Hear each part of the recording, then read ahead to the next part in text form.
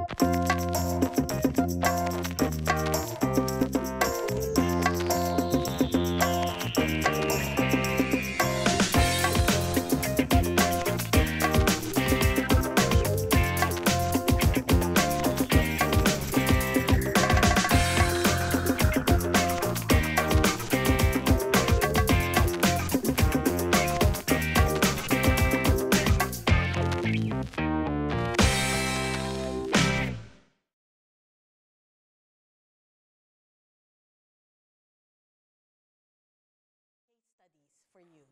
And the first case study, I have my notes. Okay, the first case study is I want you to take note of the feelings that go through you when you hear the story.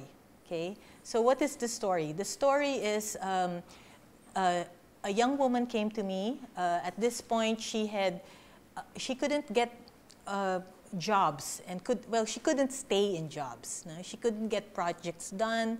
Um, and uh, she was very depressed, okay? And so I started working with her, and it was actually her mother who brought her to me. And so I said, can, can we deal with just one item in your life, one little incident that you believe uh, maybe traumatic or uh, summarizes uh, a problem for you? And so she went into a series of drawings, and I'll show you the drawing okay? Okay, this is her drawing. Um, okay, so take note of the feelings that you have, okay?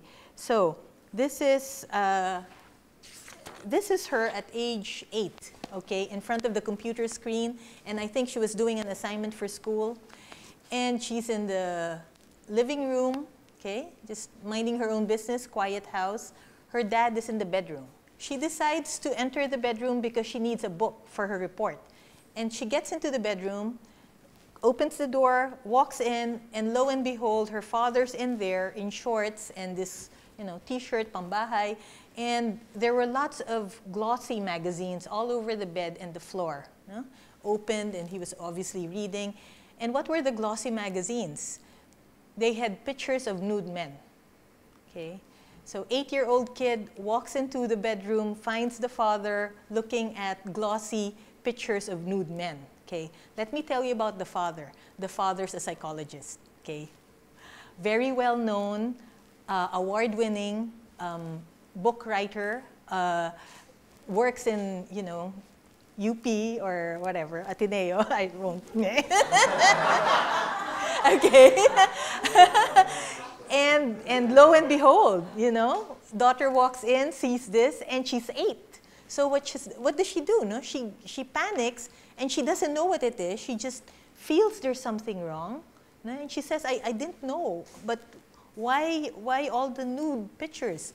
So she goes to the dresser and pretends to look for a nail cutter. Okay. Okay, so she takes the nail cutter and then acts very nonchalantly and walks out of the door feeling very confused. And the father is there just watching her standing by the foot of the bed, glossy magazines all over. And so she sits back at her computer and is stunned. She says, I, know, I don't know what I did, I just sat there. And I was staring and I don't know what happened. And I don't know how I felt. Or I just knew there was something wrong. No? So she said, I pretended to continue my work. No? And the father comes out of the bedroom, walks up to her, and what does he do? He just puts his hand on her shoulder and squeezes the shoulder, her shoulder a bit, and then walks away and back into the bedroom. And so she doesn't know what to do. She goes out and plays pico. You know what pico is? The, the, you know, the thing where you throw the stones. And, um, and she feels weird. She says, I don't know what happened. I was confused. Why did I feel weird? No? She had no language to it. And that evening at dinner, the father was there, being his usual self, very jolly, storytelling, and acted as though nothing happened. And from that day on, up until the time of his death, no? Uh, and she's an adult now and all that, he never talked about it. They never talked about it. Okay? So, um, okay, game. S certain feelings. What did you feel at any point of the story? Shame, okay, maybe. Anything else? Did, did you ever feel confused? Okay, okay. Ano pa? Anger? No? No? Okay. Not so much. So shame and confusion. Okay. So how do I deal with my clients? No? Um, I have clients who come to me with cancer, with Parkinson's, uh, people who cannot hold on to jobs, people who say, what next with my life professionally, um, people who keep going in and out of relationships, nothing works. And I'm sitting there, and this is a stranger, and how do I connect? How do I, how can I help them? And I start with empathy, okay? So empathy, genuine empathy, this is my quote, only because Daniela asked me.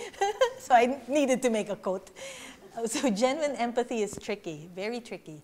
You have to truly care enough to want to fit someone else's shoes and understand her perspective, but also objective enough to pull back and view that perspective within a larger context. Okay? So maybe I don't have a father who's a closeted gay man, no? But certainly when I talk to this client of mine, when she tells me I felt shame or I was confused, then I go into my own biography and I think of a time where I was confused. Okay? So maybe I was confused at a time when um, uh, I, I was at a test, taking a test in college, and the professor gives me an item that he did not teach. Okay? So I'm looking at the test and I'm confused because I thought I was really ready and pum, there's, a, there's an item that came from nowhere. So I get into that feeling of confusion, okay, my own confusion. And then I make an intensity range just for myself in my head. Okay, the test, maybe intensity in terms of uh, confusion would be about three, okay?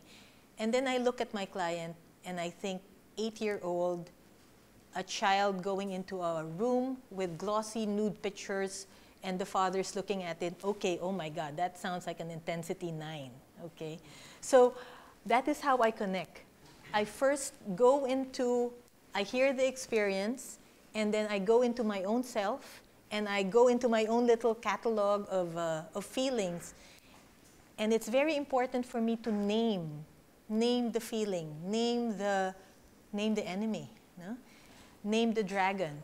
And when I'm able to name the dragon, then I say, okay, how do I feel about that? When did I feel like that? And then I am able to empathize with the, with the client. And so if it's a cancer victim in front of me, you know, cancer is an illness, it's a physical illness, but in our language, all illnesses, syempre, except environmental, if you live in a very polluted area like Makati, um, then that's a different case. But most illnesses really have its root in um, an unprocessed feeling or issue or concern that you've carried all throughout these years. You keep suppressing it, and somehow it suppresses itself again and again. You keep rationalizing it, and boom, it becomes a physical um, manifestation into cancer. And so I have a lot of that. And day in and day out, I have to deal with people who bring me their problems. And I go into my card catalog of, of problems and say, how does she feel really? Okay? And that way I'm able to put myself into someone else's shoes, but at the same time I can step back. I'm not gonna cry. I, there's another therapist friend who cries first before the client. You're not supposed to be crying. you know, you're supposed to be helping the client. So, so, so it's one thing to empathize, okay? But, and then what? Where do you take that empathy, okay? So number two question. Okay, number one is what is the, the client feeling and how do I attach myself to that feeling and understand it? Number two would be, okay, now I have a, I know the dragon, I know the name of the enemy. What is my intention? Intention is everything. Um, what do I really want to do? That is why I want to empathize. Do I want to help her through this process in life? Do I want to manipulate her? Diba?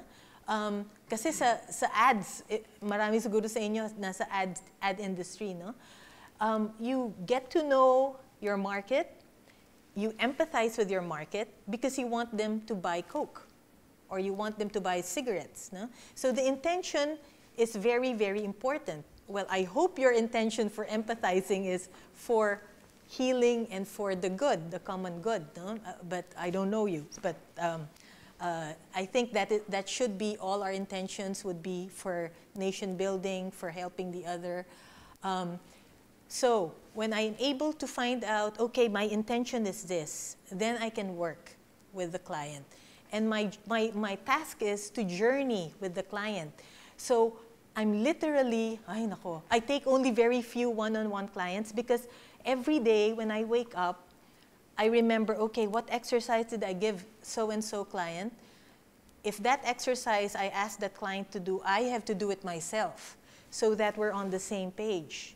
Because this is a journey, and that is empathy too, of going with him until he's okay. okay? So this is Sister Ludi. I visited her at her convent in uh, Fairview.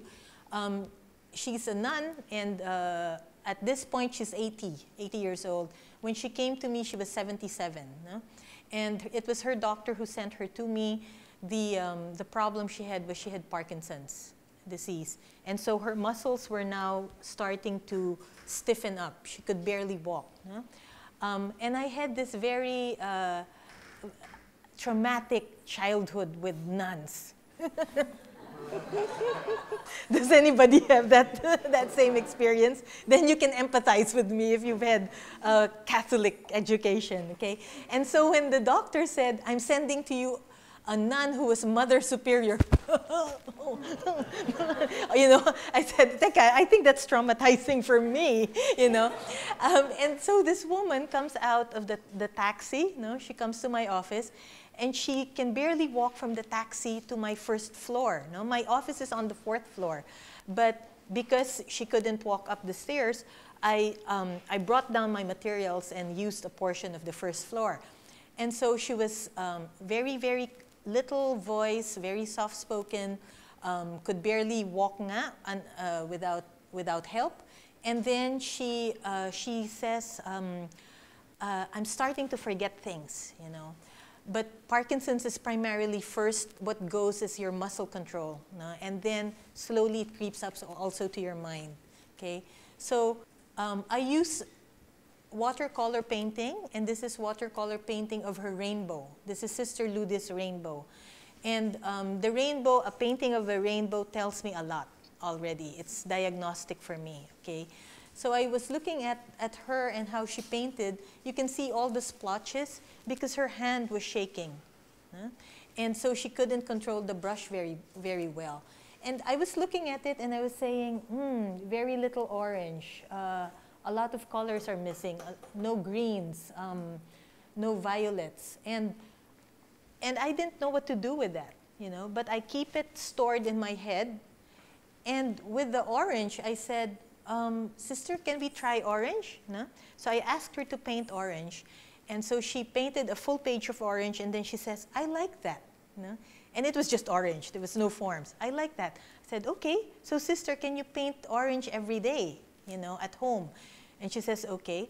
One of her main problems was constipation, okay? Um, she had to take laxatives and things like that. Uh, this is not grossing you out, I hope. Okay, so, so after a week of painting orange, you know, her doctor calls me up and says, Sister Ludi says she doesn't need the laxatives. What have you done? I said, I gave her orange. because orange is actually for digestion, okay? So, if you look at papaya, diba? When you're constipated, you eat papaya. You eat orange, the fruit, kasi fibrous eh. No? So it makes sense that the color orange works like the fruit. No? It's like, wow, that's fantastic. I'm so excited about orange. You know, um, colors excite me. and then, um, and so I was going through different colors, and then, uh, she didn't want to talk. She was very stern, unsmiling. No?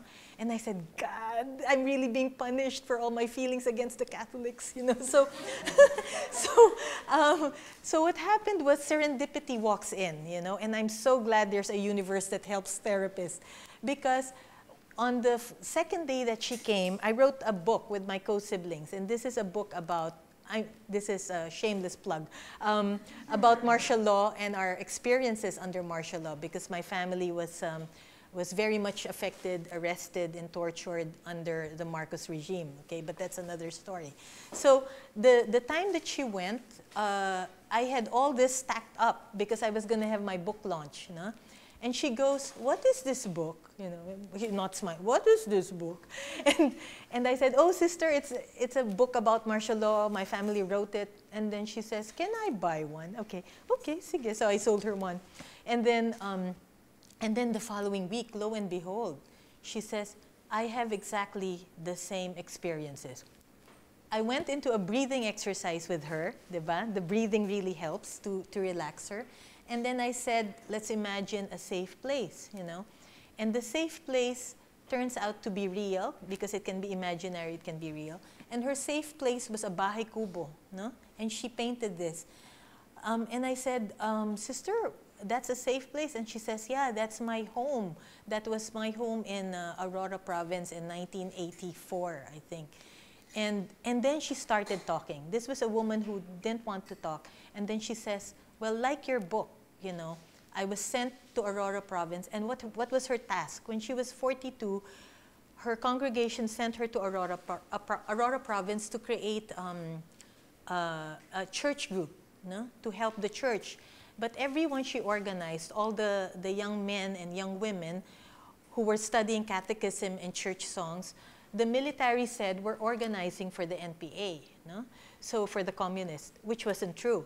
So one by one, the people in her chor chorale, in her, in her choir, were disappearing. And then they would be in the stockade or they would be dead. And her role was to go to the military to try to find out if the boy was still alive and to try to get the boy dead or alive back to the, back to the, the parents. No? And so she went through a horrendous story that was really a book in itself. No? And then she says, but I never told anyone about this. And she's 80 now, so it's like 40 years, no?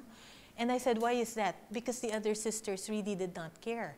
My life was in, in danger, so after escaping from that very militarized area, I went to Manila only enough time to pack my things, and they shipped me to our congregation in the US.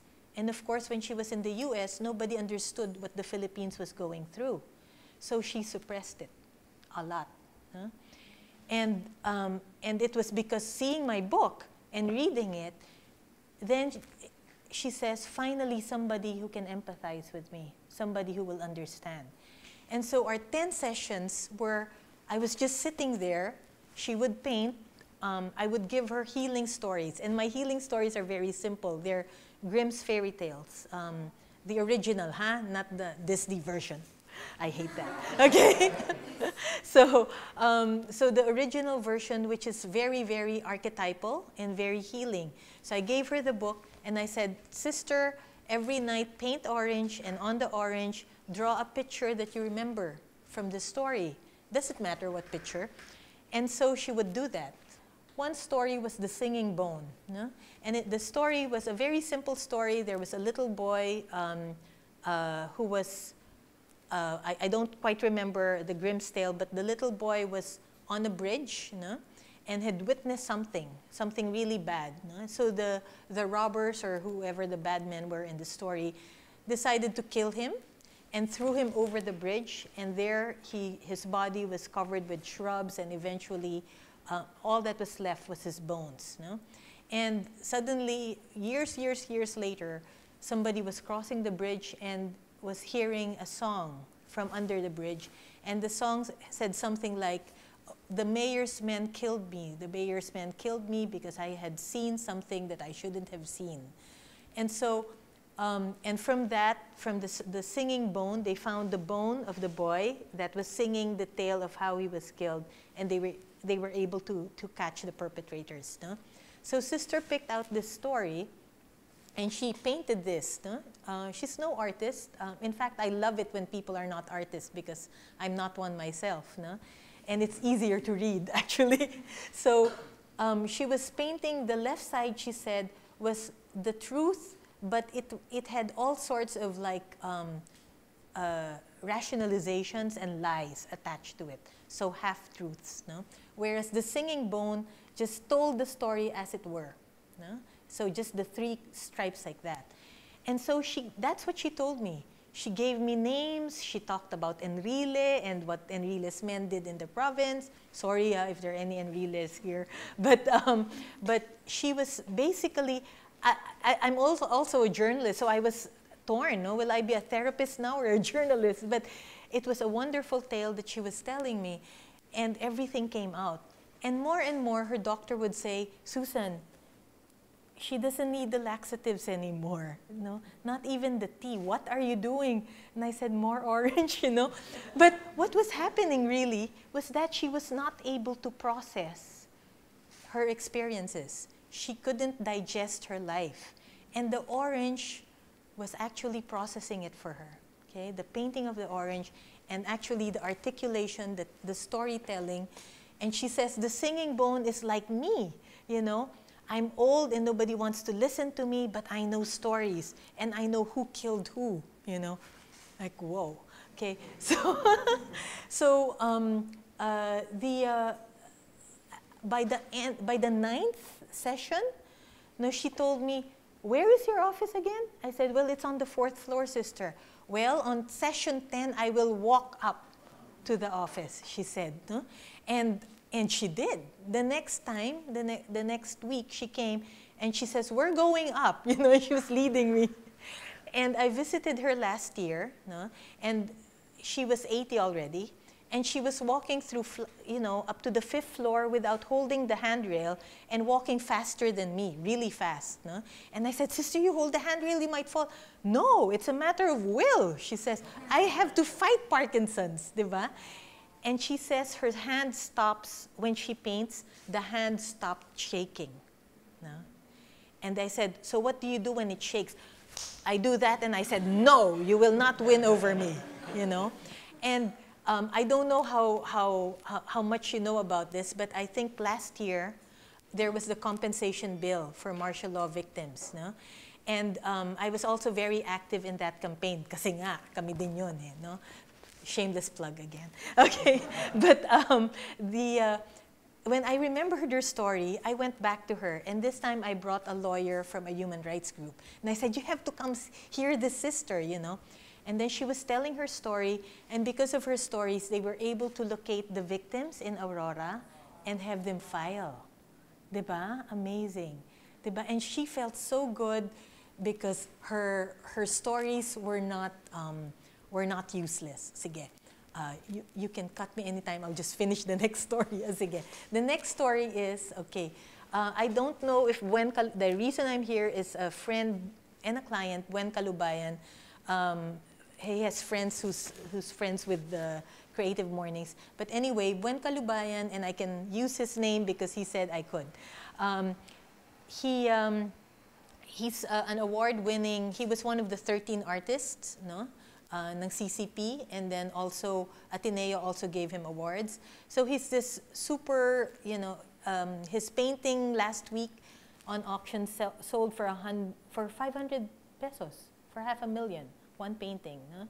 And then uh, at Sotheby's, um, uh, or yeah, Sotheby's sold his painting for $20,000, one painting, okay? So he has it made in the, in the art scene, diba? And he was coming to me and saying, I need therapy. And I said, What's, this is an artist, multi, you're coming to me, I have no art whatsoever in my body, I'm just a therapist. And he says, but you're an art therapist. I know, but I'm ashamed, you know. I was, I was saying no to this guy. And then uh, I said, um, but okay, sige, let's do two sessions first. So we did two sessions. And then I was going through his biography and all that. And then I said to him after two sessions, there's nothing wrong with you. You're not sick. You have no issues. You're very grounded. Um, go home. You have no problems, I said, you know. You don't need me. And then he says, my problem is not that.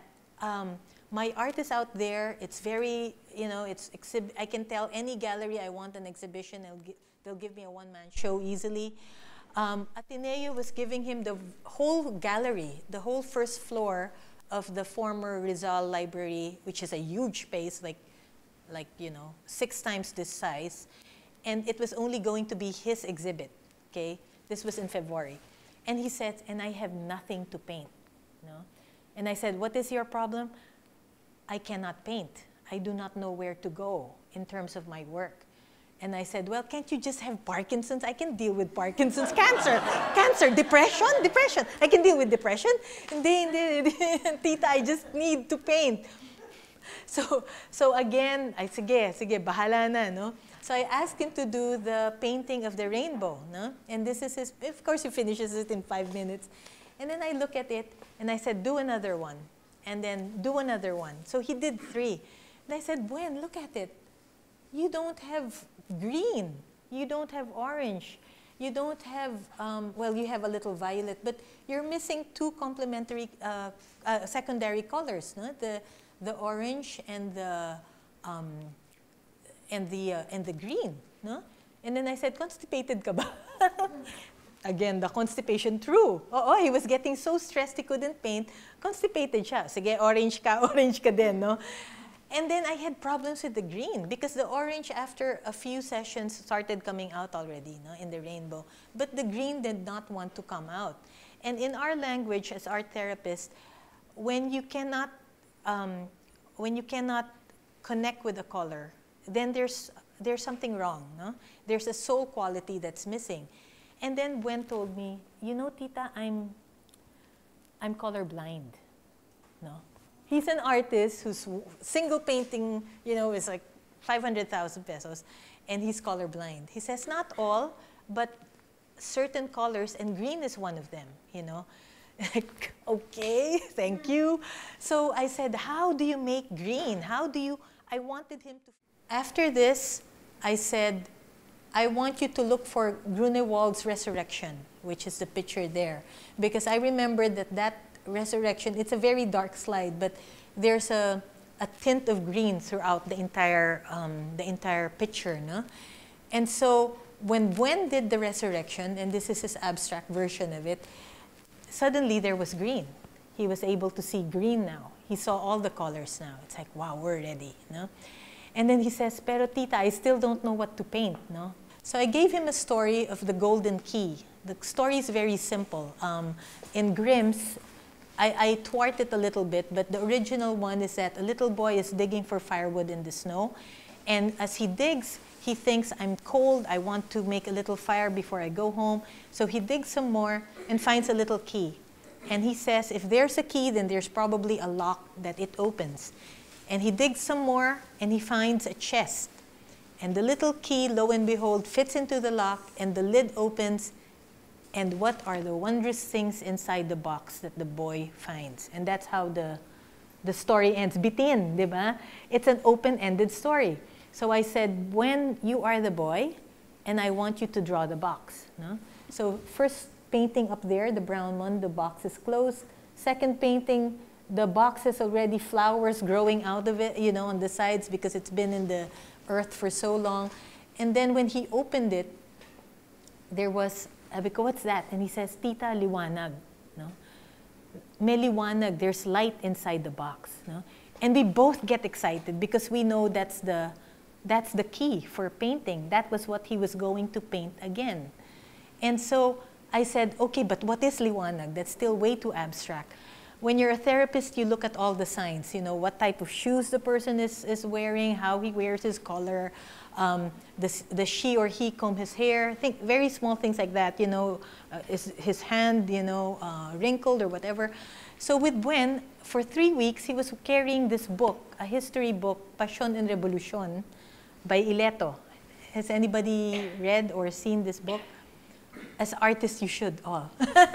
it's a history book, but it's very, very interesting because he doesn't look at it like the usual history, you know, this happened on this date, the name of person, blah, blah, blah. But he treats it like people are doing this, but there are so many levels in the subconscious of the Filipino that was happening during that time. So it was a book about the Katipunan no? and the revolution under um, uh, Macario Sakay and Bonifacio and things like that.